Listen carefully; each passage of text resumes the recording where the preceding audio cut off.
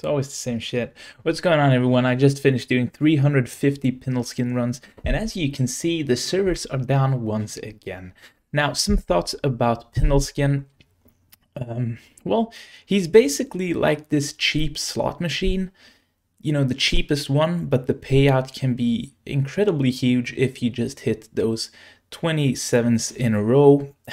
But, you know, Pull the machine, nothing. Pull the machine, nothing. It's like one in, I don't know, I did 350 runs and I gathered like nine clips or 12 clips. I can't remember, but I first did a hundred and I thought I'd stop at 100, but after, I think after 100 runs, I had three clips.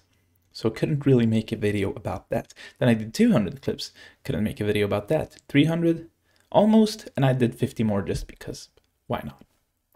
Uh, like I said, he's a very, very.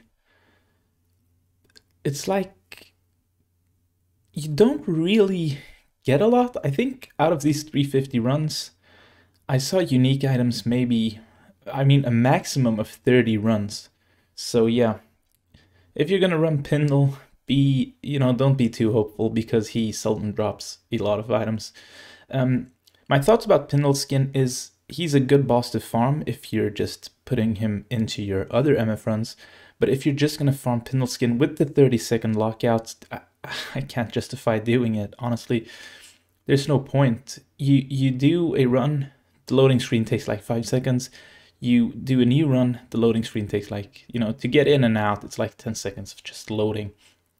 So you have to get into the game, into his portal, get out of the game, and that's like you know the whole thing. So it's just remaking a game with the 30 second loadout included brings about each run to 50 seconds i'd say.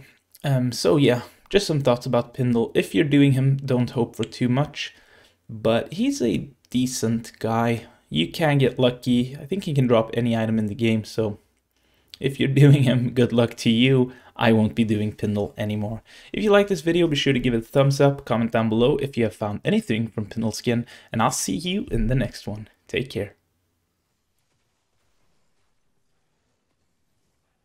On run 32, we get the infamous Strangle Bracers.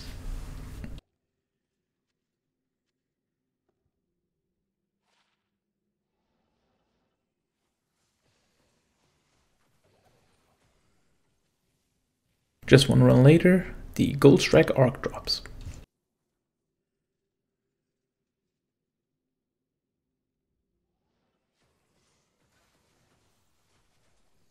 On run 88 we had a small charm and the small charm decides to roll 100 poison damage.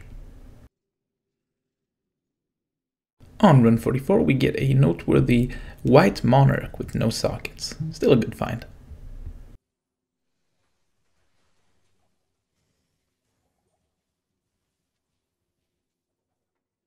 Four runs later, we get a small charm with 5% magic find.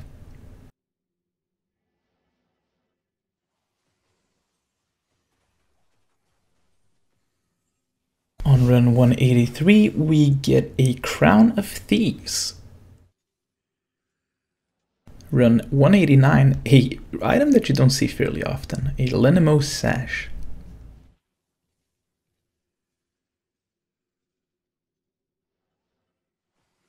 Run 204. I decided to include this one because of the rare Archon Staff that dropped, but still, a Laying of Hands.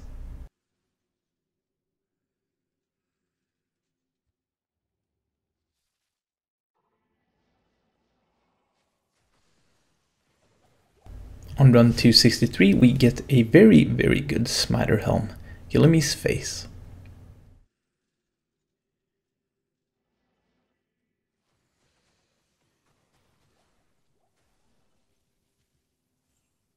Run 271, a weapon with a lot of deadly strike, an ethereal Headstriker.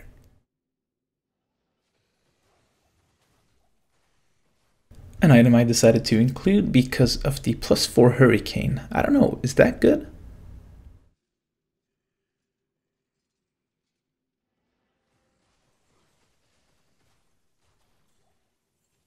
Run 284 comes along, a set amulet. I'm hoping for Tal Rasha's, but it's not a Tal Rasha's.